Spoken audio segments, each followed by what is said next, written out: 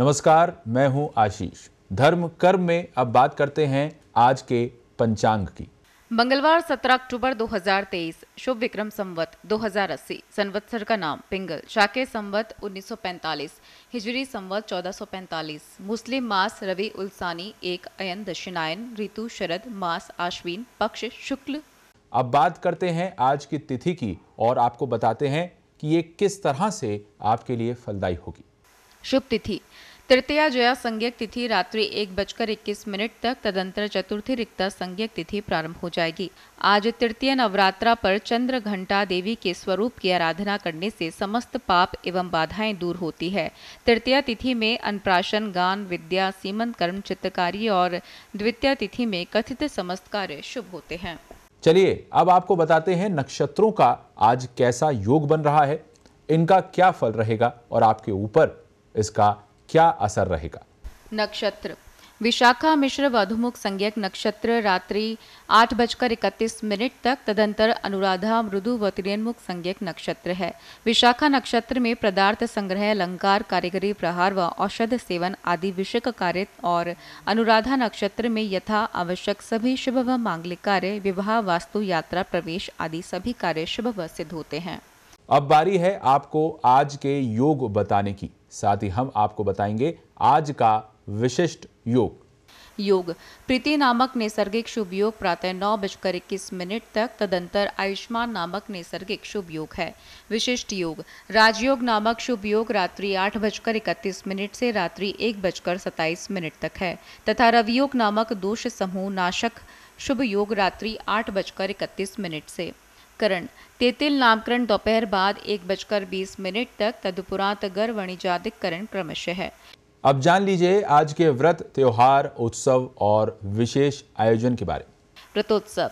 कार्तिक संक्रांति सूर्य तुला राशि में प्रवेश रात्रि एक बजकर तीस मिनट पर संक्रांति पुण्य काल अगले दिन शुक्र पूर्वा फाल्गुनी में अपराहन तीन बजकर चौबीस मिनट से मुस्लिम मास चौथा रवि उल्सानी प्रारंभ आज से।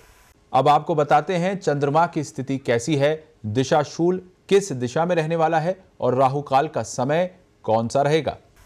चंद्रमा। चंद्रमा तुला राशि में दोपहर बाद दो बजकर बीस मिनट तक तदंतर वृश्चिक राशि में प्रवेश करेगा। दिशाशूल मंगलवार को उत्तर दिशा की यात्रा में दिशाशूल रहता है, पर चंद्र स्थिति के अनुसार दोपहर बाद दो बजकर बीस मिनट तक तुला के चंद्रमा का वास पश्चिम दिशा में व इसके बाद वृक्षिक के चंद्रमा का वास उत्तर दिशा की यात्रा में सम्मुख रहेगा। सम्मुख चंद्रमा यात्रा में लाभदायक व शुभ माना जाता है। राहुकाल मध्यमान से अपराहन तीन बजे से साय चार बजकर तीस मिनट तक राहुकाल वेला में शुभ कार्यरंभ यथा संभव वर्जित रखना हितकर है। अब आपको बताते हैं शुभ मुहूर्त और श्रेष्ठ चौघड़िए यानी कौन सा समय आपके किस कार्य के लिए उत्तम होगा? शुभ मुहूर्त। उपयुक्त शुभाशुभ समय तिथि व नक्षत्र व योगानुसार आज विवाह का अति आवश्यकता में व प्रसूति स्नान के अनुराधा नक्षत्र में मुहूर्त है। श्रेष्ठ चौघड़िए। आज प्रातः नौ बजकर इक्कीस मिनट से दोपहर बाद एक बजकर अड़तीस मिनट तक क्रमशः चर लाभ व अमृत तथा अपराहन तीन बजकर तीन मिनट से साय चार बजकर अट्ठाईस मिनट तक शुभ के श्रेष्ठ चौगड़िए हैं। एवं दोपहर ग्यारह बजकर उनचास मिनट से दोपहर बारह बजकर पैंतीस मिनट तक अभिजीत नामक श्रेष्ठ मुहूर्त है, जो आवश्यक शुभ कार्यरंभ के लिए अत्युत्तम है। अब आपको बताते हैं आज जन्म लेने वाले बच्चों की राशि और स्वभाव के बारे में। आज जन्म लेने वाले बच्चे, आज जन्म लेने वाले बच्चों के नाम तू, ते तो न, नी आदि अक्षरों पर रखे जा सकते हैं। दोपहर बाद दो बजकर चालीस मिनट तक जन्मे जातकों की जन्म राशि तुला व इसके बाद जन्मे जातकों की जन्म राशि वृश्चिक है। तुला राशि के स्वामी शुक्र व वृश्चिक राशि के स्वामी मंगल हैं। इनका जन्म ताम्रपात से है, जो शुभ फलप्रद है। सामान्यतः ये जातक सुंदर धनवान पर कृपण, लोभ, वाक्य, पटु, सामान्य बुद्धि वाले कुछ कुछ क्रोधी और अहंकारी होते हैं। इनका भाग्योदय 28 वर्ष की आयु के बाद ही होता है।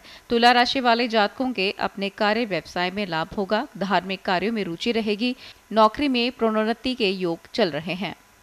तो आपने जान लिया, आज के पंचांग, ग्रह नक्षत्र, चौघड़िया और आज जन्म लेने वाले बच्चों के बारे में, लेकिन ये भी ध्यान रखने वाली बात है, जैसा हम आपसे हमेशा कहते हैं कि ग्रह नक्षत्र भी उन्हीं का साथ देते हैं जो खुद की मेहनत पर विश्वास रखते हैं।